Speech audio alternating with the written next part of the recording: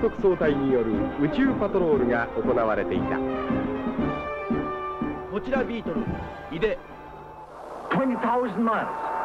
Going through the outer space zone. All is all right. This is headquarters. We have read you loud and clear. Keep up the good work, Ito.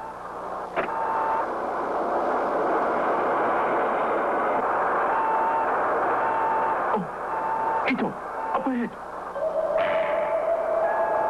It's Kemlar. You're right. A creature Ultraman defeated late last year. Hold it. Look at that. Atla. Look, another. The creature Neronga. Ultraman defeated them all and delivered them to this outer zone. It is here that they float in space forever. It's what I would call a monster graveyard. Graveyard is certainly the right name.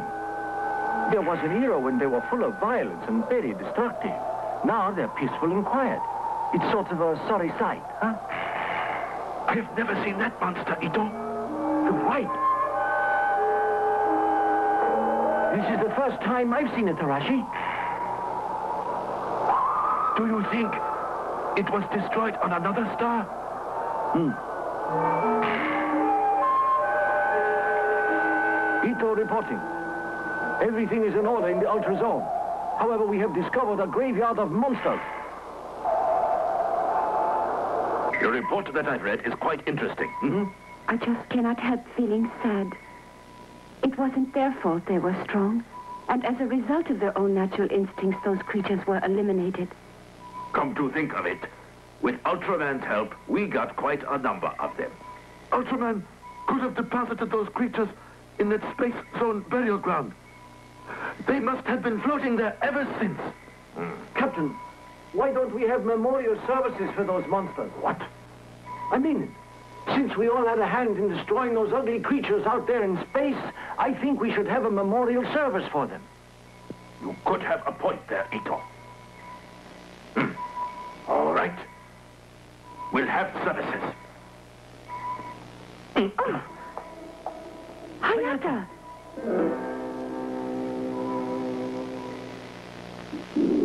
To all the creatures I have destroyed, I am sorry that I had to do it.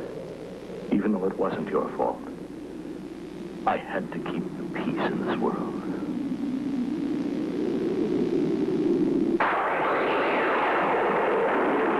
In his heart, Ultraman also felt sorry for the monsters he had destroyed. He agreed with the Science Patrol that memorial services should be held.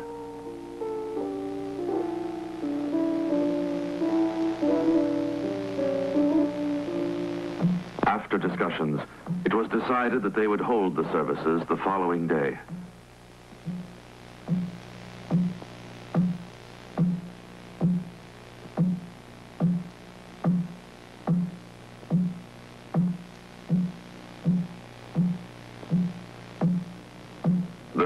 Patrol prayed for the monsters to rest in peace.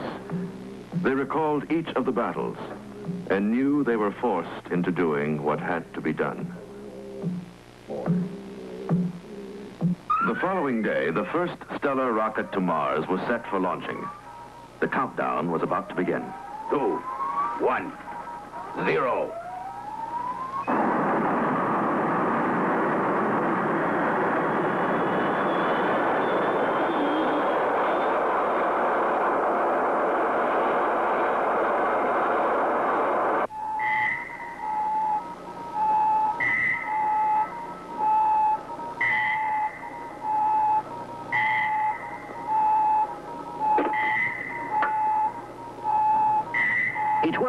Congratulations. We're all proud.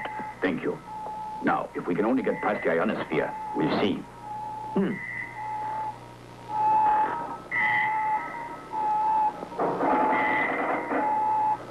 The stellar rocket is going as calculated.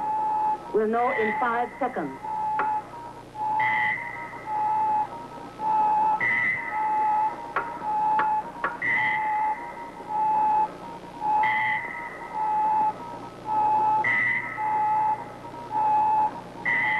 Worked. Oh, congratulations. Uh, thank you. Thank you. oh. Doctor, communications with the stellar rocket are not operating. Mm. Quickly, what is it? At that moment, the radar scope at the Space Institute detected a strange object falling from space. The stellar rocket had crashed into a monster that had been floating in the ultra zone on its way to Mars.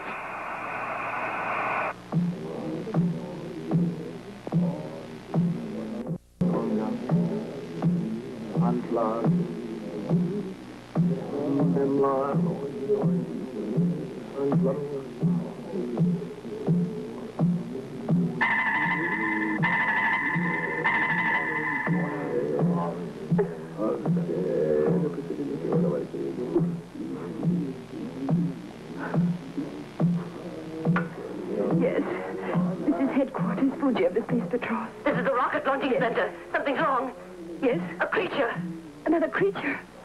Captain!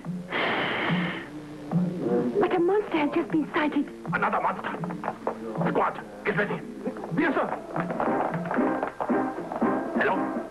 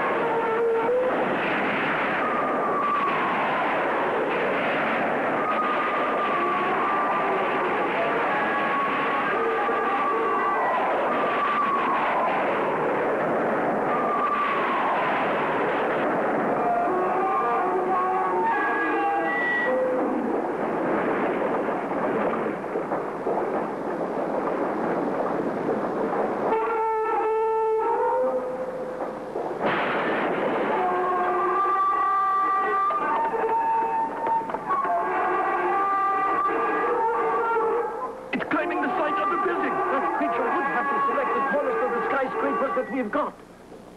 I wonder why it's doing that.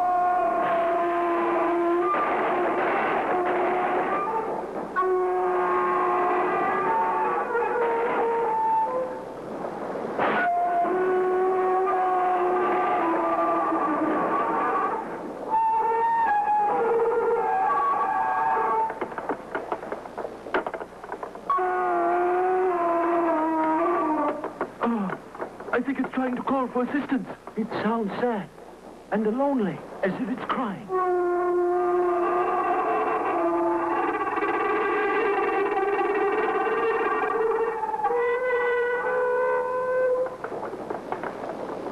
Arashi, wait. What for? I think the monster's trying to get back into space. Look.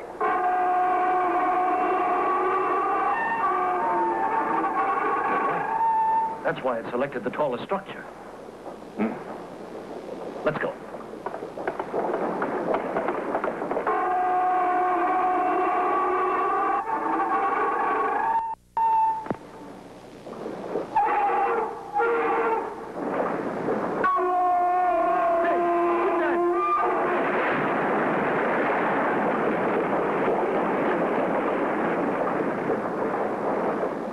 Monster, you weren't born with wings, don't you realize it?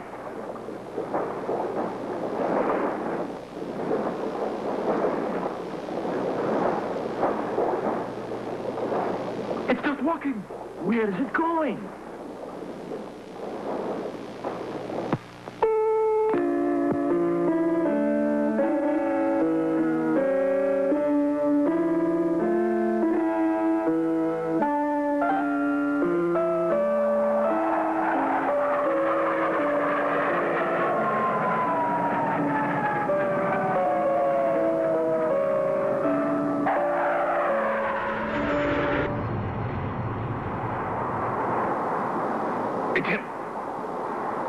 To land. We won't attack till then.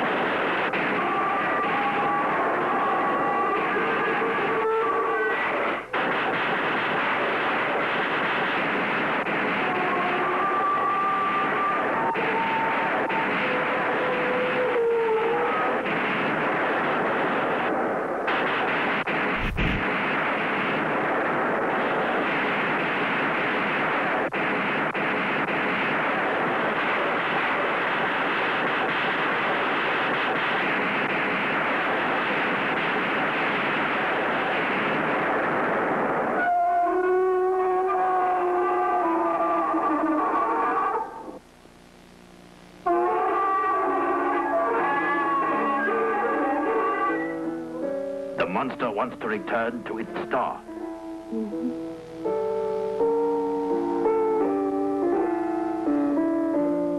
How are we going to return it to its own star out there?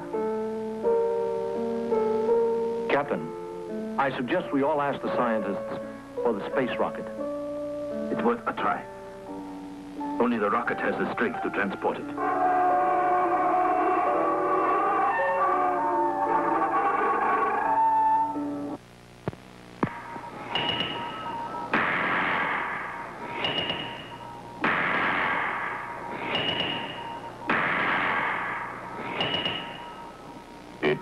is sad to hear a tale like that. You talk as if it's all you're doing. It's just unfortunate that your rocket hit the creature when it went through the ionosphere.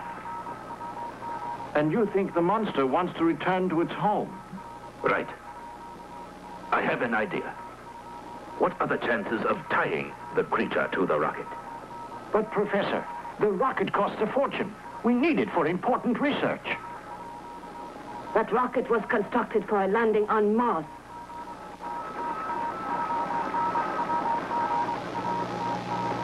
Right. Even though it's hard luck, we'll have to face it. We'll do as he suggests. Our rocket will send the creature home. We can always send another rocket aloft. However, we cannot afford to have the creature destroying our country. Doctor, you are wise. Hmm. The rocket was transported to where the monster was located.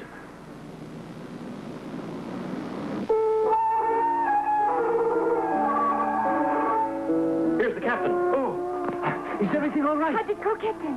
What happened? I was successful. They agreed to use the rocket to get the monster back to space. That's really great news, Captain. I knew they would think of the creature's feelings.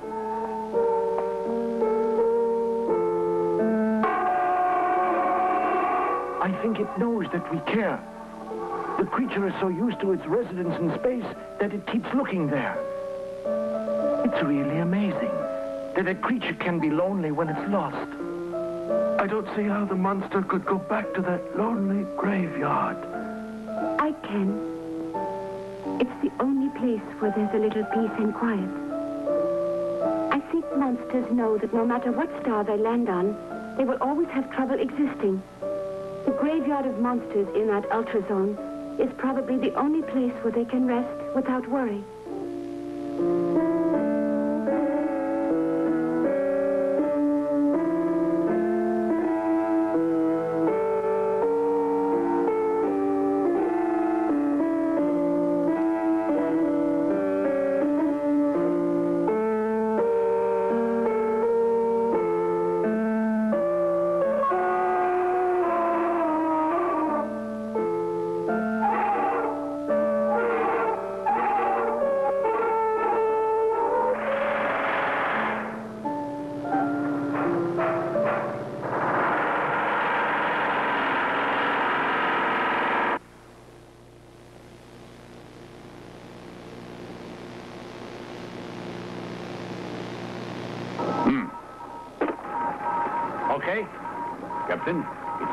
Thank you. To the ships. Yes, sir. Yes, sir.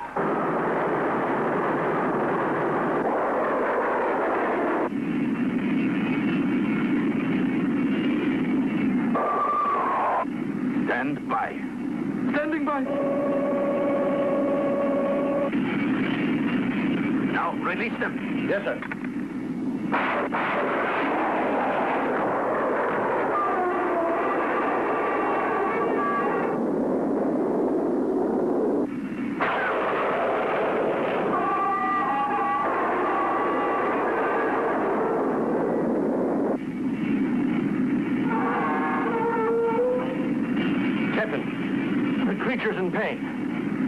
Right now we'll just have to hope he won't get wild.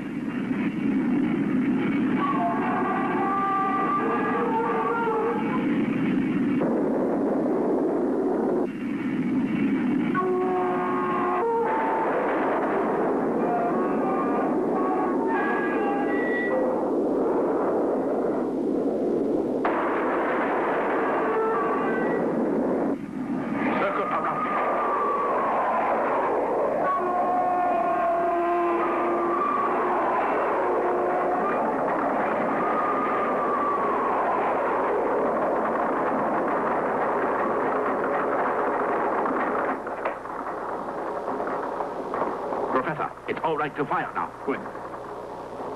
Stand by. All right, begin countdown. Ten, nine,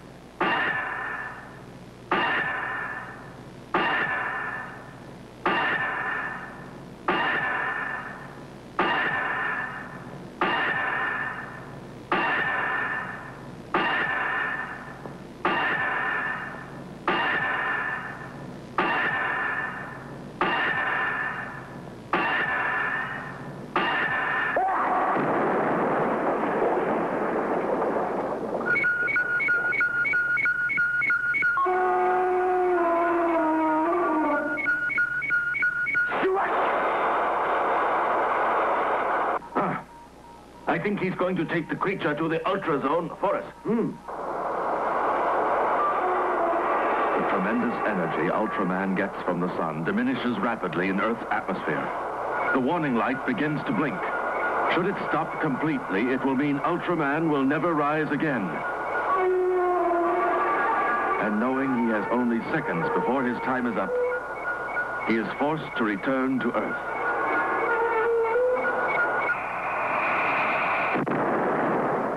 Hayata! Hayata! Are you all right? Quickly, help him. Oh, oh, oh.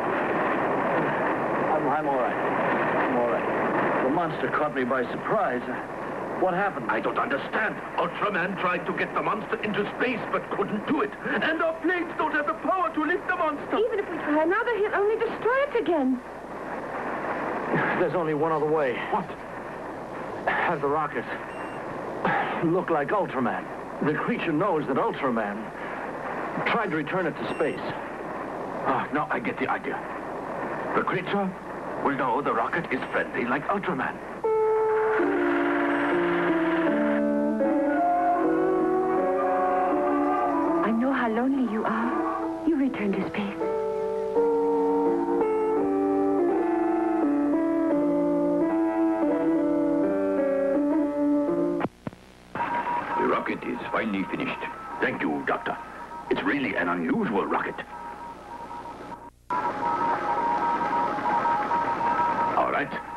Going to lead the creature to the rocket. In the first plane, Ito and Arashi. Hayata, you're in charge of the second aircraft. Yes, sir. I'll continue giving the orders on the ground. Yes, sir. Get ready.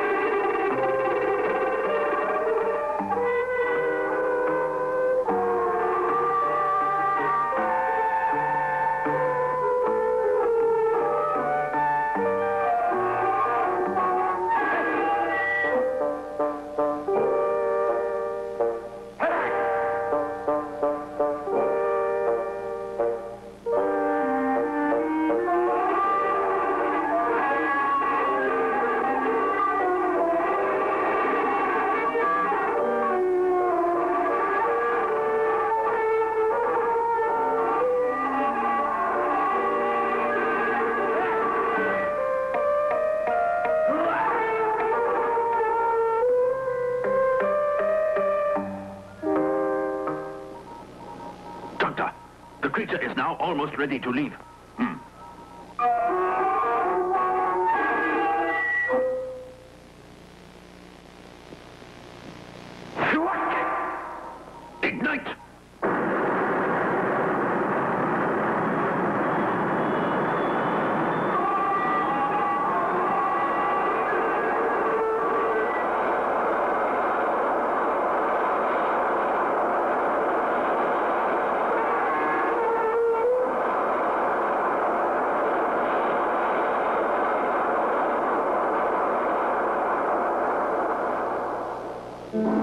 City was normal again, and the Science Patrol performed its routine check of space.